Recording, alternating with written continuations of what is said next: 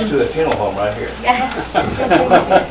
The enemy I have is what I heard. Well, thanks for having uh, Lisa and I today. This is Lisa Marquez Bresnahan, and she uh, served on the book task force with me. We call it the Amarillo uh, Barrio Historical District. And so um, we started meeting uh, literally in September of 2017 and um, met as a task force. There were, at that time, there were nine of us that met to start talking about how do we do this book. And Lisa, I'm going to let you hold that up in a minute so people can see what the book looks like. Um, But when we started as the task force, we knew there were a a lot of people that we needed to talk to. It was uh, really a question of who was going to be interviewed, who interviewed, who wanted to be interviewed, uh, were they still living, for one thing? Uh, If they weren't, did they have, could we reach relatives? And everybody had to sign a release form that said, you know, I give permission to have this information, this photo in the book. Um, We also knew that we needed to record the history. So the Breakfast in the Barrio group came together in the summer of 2017 and said, we need to record our history of the Barrio neighborhood um, because it hadn't been done and was really past due. So as we were meeting and coming up with who to interview, um, what historical sites we needed to know about, um, how long would this take, how long would the book be, um, and it ended up being 99 pages long, and then we broke it into six categories. We talked about the history of Barrio, and I'll talk about that in a minute.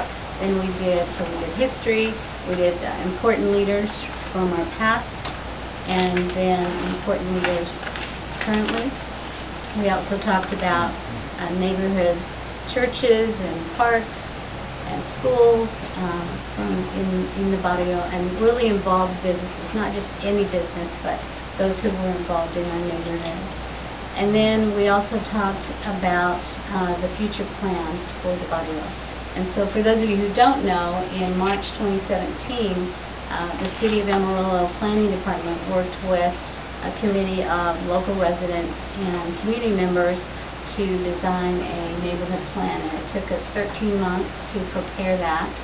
And in that plan, we included that we would record the history of uh, this neighborhood. And so we did.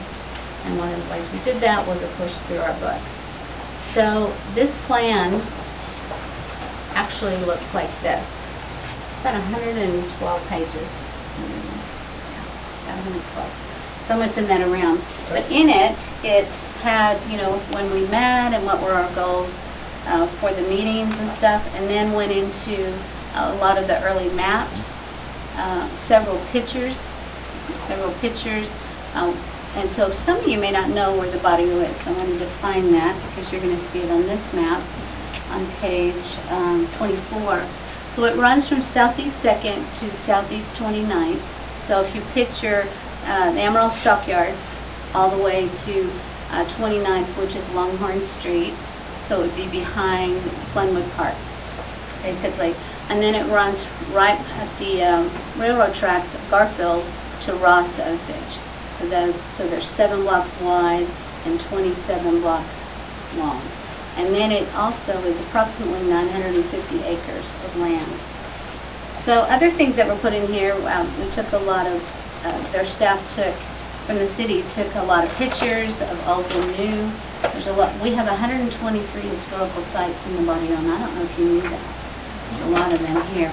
There's a lot of data in here about uh, who lives here, what what is the, the age groups, what's the poverty level, so on and so forth, the population. Uh, One of the things we knew right off the bat was that there are, all the yellows here are vacant properties, there's a lot of those. We also lack sidewalks, so we knew those were critical issues for us to really look at that. But I'll give you a chance to look through it yourself. Um, Here's the lots without adjacent sidewalks, all the yellow. So you may wonder, well, why weren't sidewalks built? Well, you look at the east side of, of Amarillo, a lot of the houses didn't have them. They weren't, they weren't built at that time. And as businesses came in, they got to choose if they were gonna do one or not. And so some did, some didn't. And so now we have new, as new business comes in, typically they're going to build a sidewalk. But where, where I live, there is no sidewalk. So when you go walking, it is um, just road. And that's pretty common for a lot of people to have there as well. We have five uh, corridors, and they are, um, to show you on this. So if you are running, this is Garfield heading to Ross, and so they are 10th Avenue, Arthur, Ross, Osage, and 27th. Those are four, sorry, four of them, and then the third, so five. And this is 10th Avenue. So what you're looking at here is, um, we want to do a lighting project because lighting is important to us, and it's decorative lighting. But we also, because of the lack of sidewalks, we also want to put in sidewalks and some trees. So what you look at here is our pilot project that we're working on and we're fundraising for is right on 10th and Arthur, right on that corner. As you come under the bridge, there's 10th and Arthur. Mm-hmm. We want to have that be our project because you immediately see it when you're going west or east to do that. So we'll send that around as well. And so what that would involve are trees, sidewalks, easements, decorative lighting to be able to have for that. And it's a pretty hefty price because it's $211,000, just a little bit over that. And so the city will pay a portion and we will pay a portion. So we're in the middle of um, actually fundraising for that. I'll send another one this way so you can both see it for that.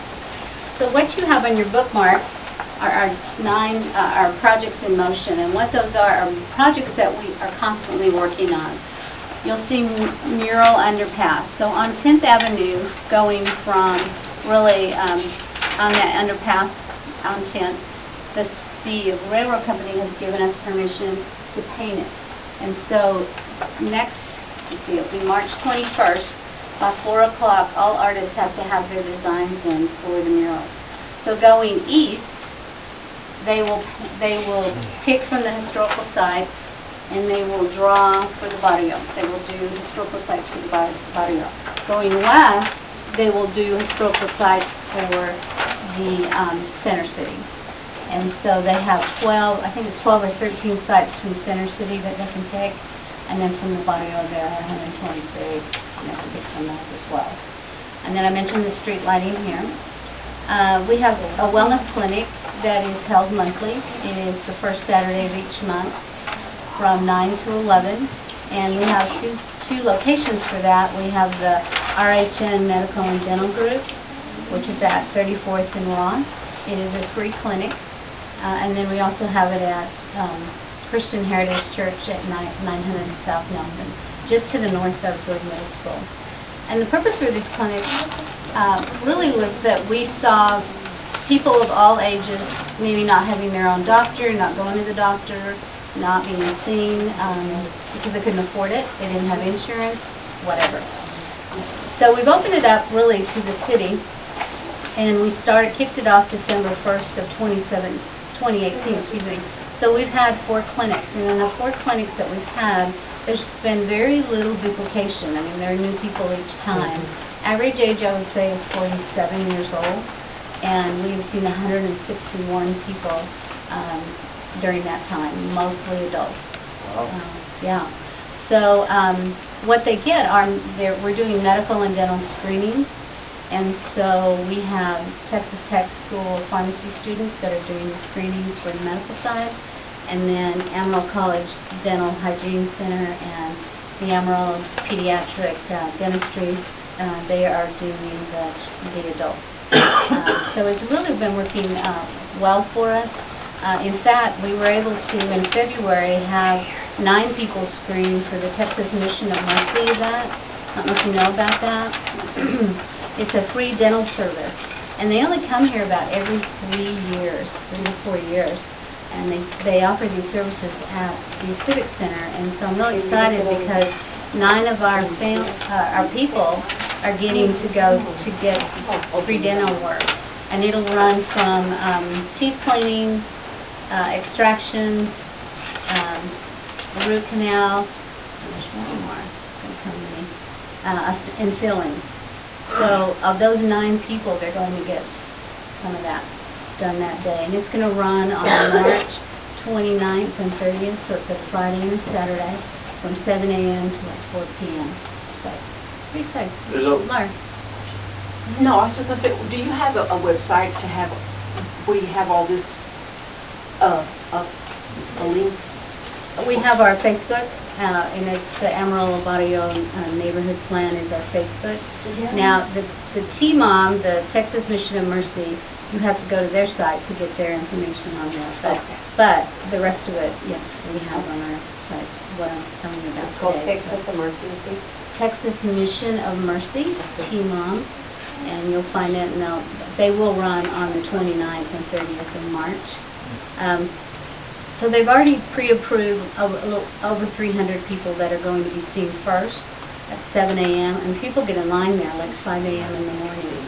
And then after they serve those 300 and something, then other people can be seen. And so um, people just wait in line until they get called for those two days, so.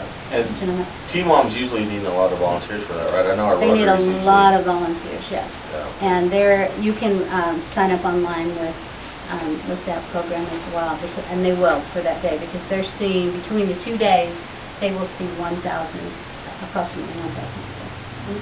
So, And, and for, if you're gonna ask about children, if you're thinking about that, you have to be 13 or older to be seen. So, just know that. So they're telling parents who are coming, if it's for the parent, don't bring the child, because it's a long day for them, so. And the volunteers, is there a minimum age?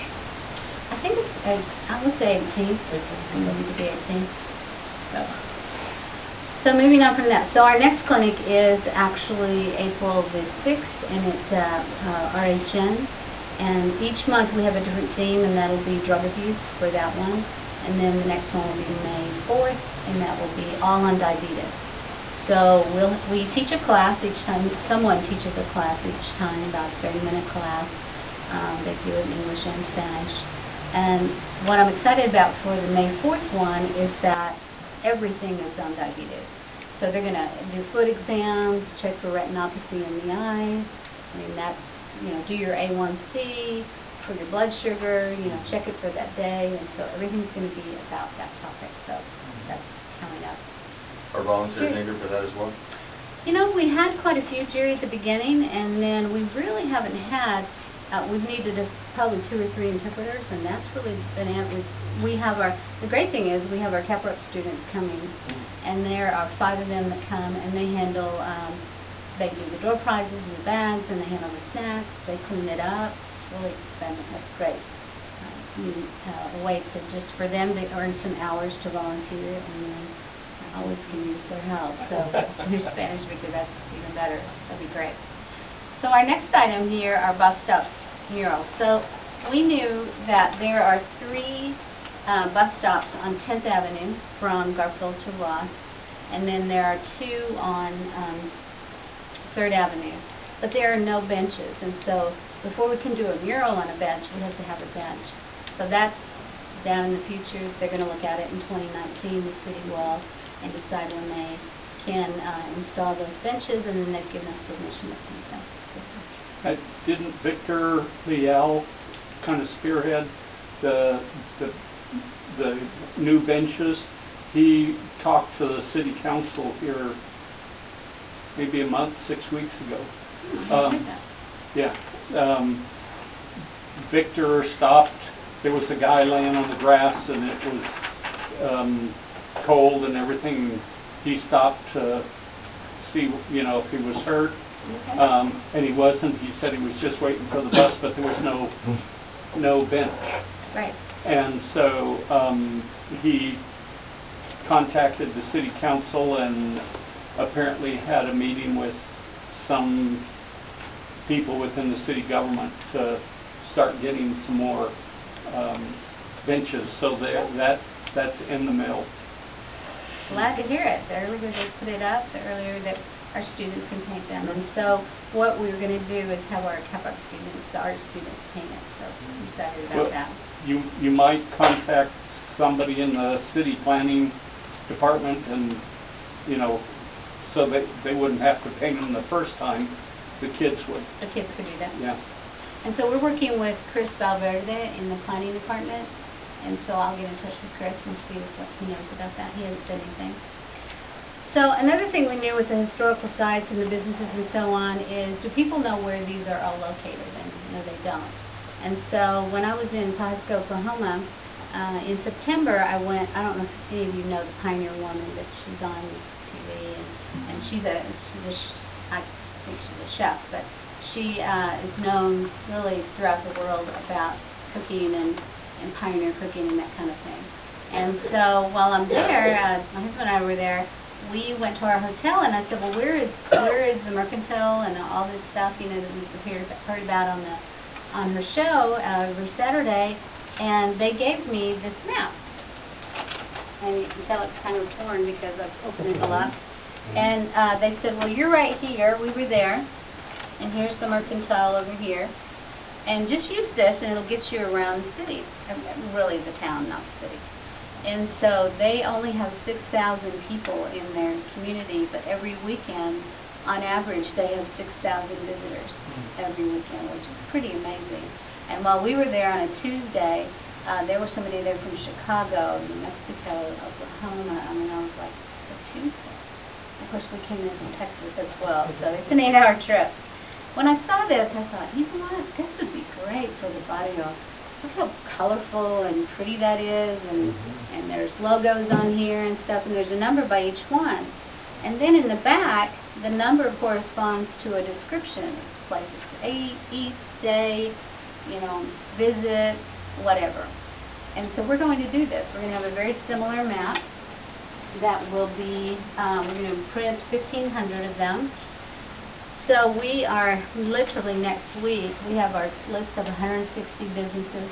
The majority of them are in the barrio, but the rest of them are out, right outside and again, supported businesses uh, that we're going to put on this, we're going to ask them, do they want to, for a fee, put their logo and description on um, the map.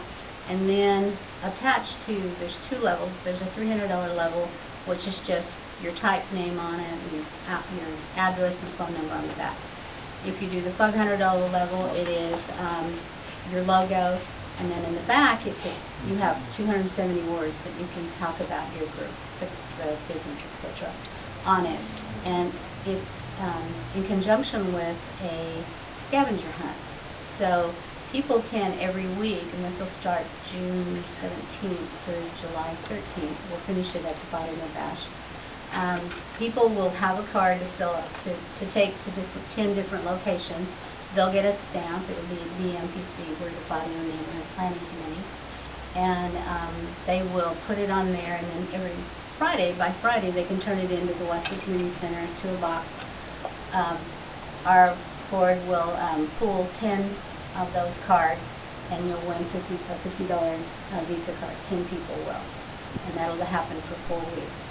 And then the grand prize is going to be, so everybody's name goes, card and name goes into the grand prize.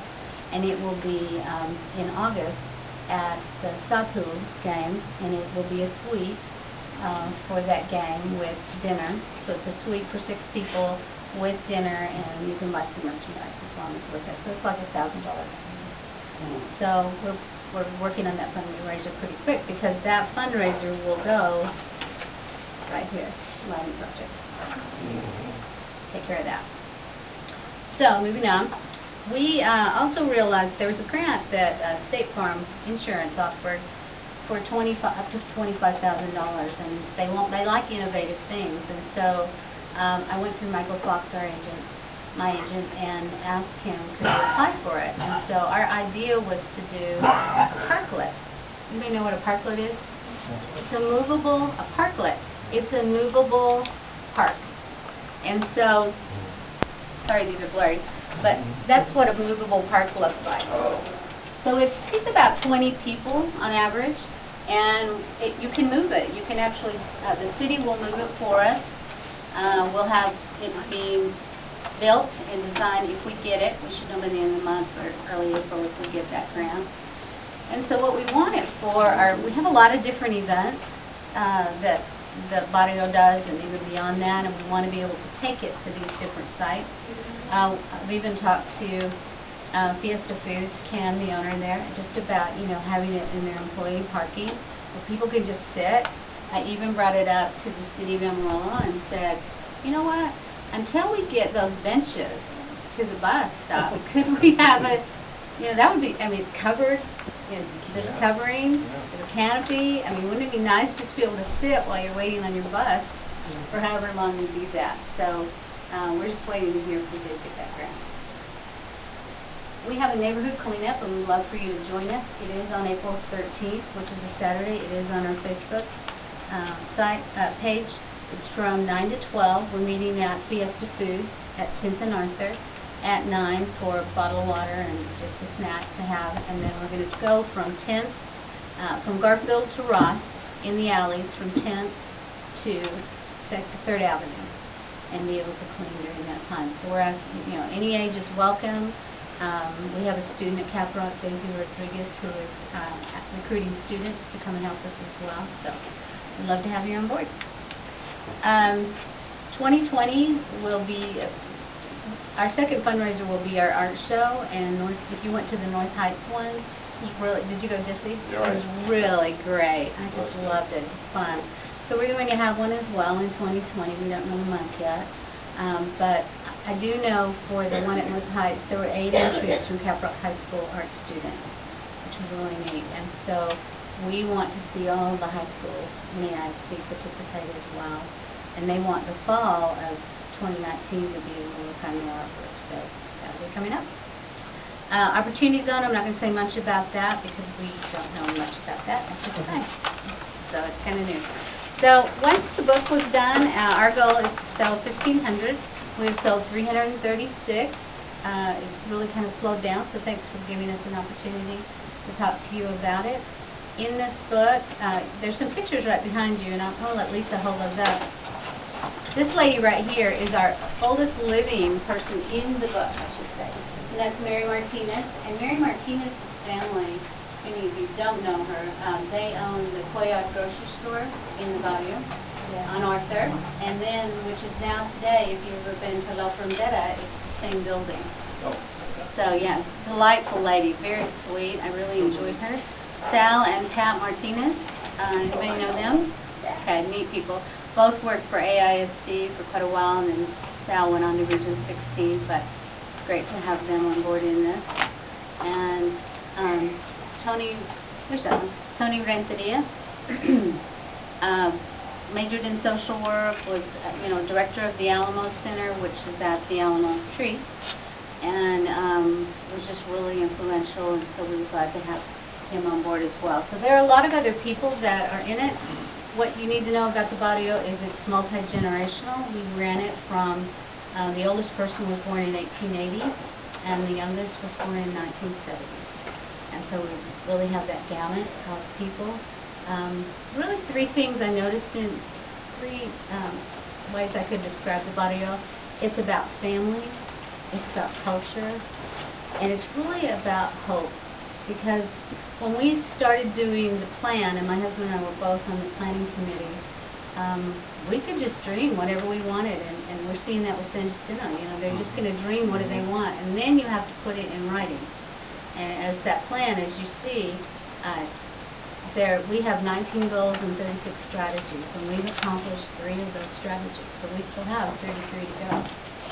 So the purpose of this uh, it keeps us on track of where are we, what are we working on, and that we don't get off track, because it's easy to come to a meeting and say, hey, you know what, we need to work on those trash cans over there. And I'm like, okay, let, let's look and see if was that a priority.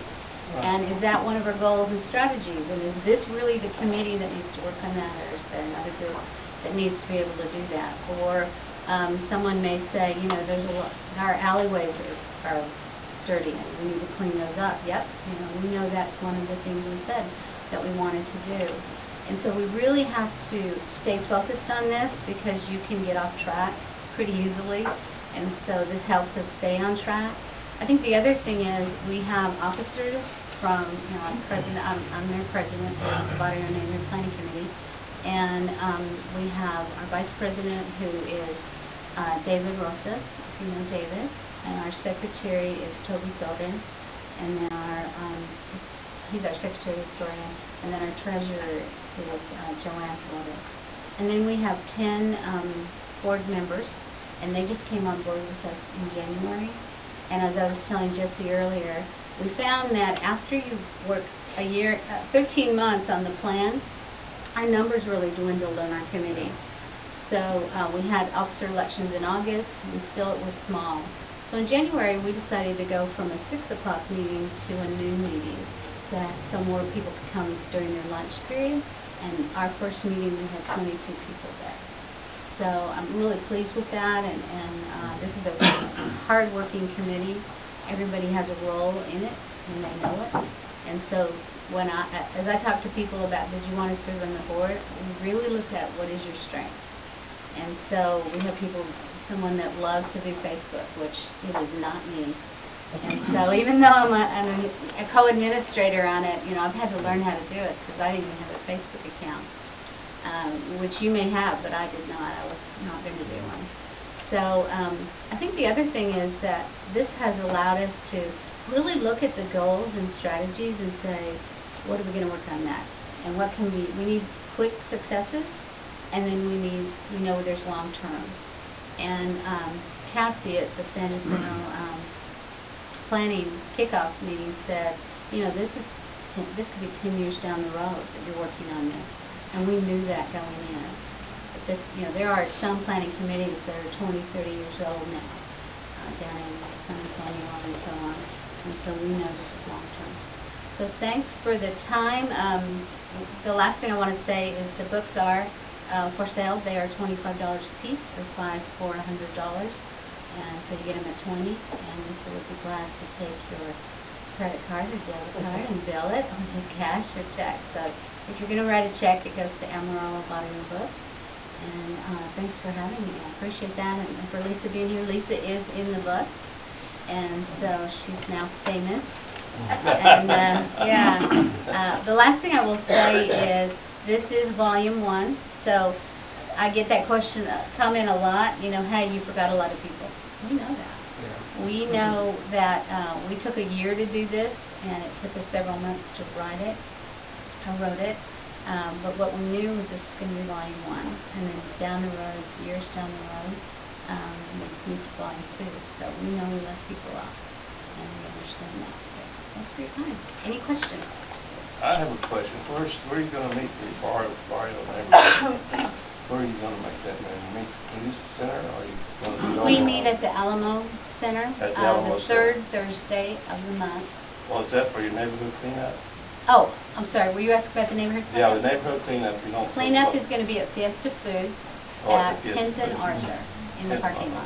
Mhm. Okay. And then our regular meeting is at Alamo Tree Center, the third Thursday at every. Is that still at six, or is that at your? It's at main- noon. So Mhm. that meeting is It is at noon. at, okay. Thank you. Anybody else? I'm glad you're moving forward, and you're not sitting around for the government to come and do anything. You're doing it. Yeah. It's great, Right. it's great, good, great. You know, when, when the city was working with us, they talked about, you know, y'all need to be, as a committee, be thinking about how you're gonna raise this money and what you're gonna do mm-hmm. with that. We cannot possibly pay for it all. And we knew that from the very first time we met. We knew that was going to happen. And so we started thinking, you know, so many fundraisers, I mean, you could almost go weekly and somebody's doing a fundraiser. So we knew we had to come up with some. It's things. important to know the commissioners, the upcoming commissioners that are coming in. See if we're gonna be helping, or, hey, they're doing everything on the set aside town. Well, I will tell you, Commissioner Mercy Murguia has been full supportive, and if Who's you're that? coming, Mercy Murguia, Yeah, uh, yeah, full support of what Oh, we're all right. doing. She has, she does come to our meetings when she can. Um, and then, uh, our city council voted this in, they, they come when they can as well. I appreciate their support because, um, uh, and we have a great planning department that we're working with, so that if we have any questions, we can be in touch with them. And I, I've been meeting with Chris Valverde, you know, about once a month and going over, okay, here's what we're working on next. What has to happen, so good, good contact there. Thank you. We Well, your group certainly sounds fantastic, you know. There's no excuse for us not having somewhere to go to do some work. Right. You know, it sounds like we're gonna have a lot of, um, efforts going that way for sure, so definitely reaching out to you. Um, you know, I have a saying, you know, stop telling me what you wanna do and show me what you've been doing. And your group certainly looks like that's Yeah. what they're doing, so. Well, interestingly enough, I'm glad you said that. See the logo? That's a Caprock student design. Wow. We hired, um, oh my gosh, can't think of her name now. Uh, Celeste Rodriguez to, Ramirez, excuse me, to design it for us. And we paid her for it. We were one of her early customers. And I really appreciated that because she got to experience as a student at Caprock what it's like to uh, have a customer and have to meet their need because we narrowed it down to two and she combined, we wanted those combined and she did it for us. And so that's pretty neat to Yeah. see students get involved. And, and they actually, when we were meeting at 6 PM, they were on our committee. There were uh, three of them from the art department at Sure. And so um, I appreciate that they were, and they continue to be a part of it. Okay. You know, Mr. Frimmel and I were talking earlier about some of these neighborhoods and, you know, when you can, when you can find value in yourself in doing any kind of restoration and you're diving into these things and you're putting application to it, you start to value, you know, your surroundings and your proxy. And then others start to see that, notice the change, and then they start to value what you're valuing, and that's just a domino effect, so kudos to you, really, great job.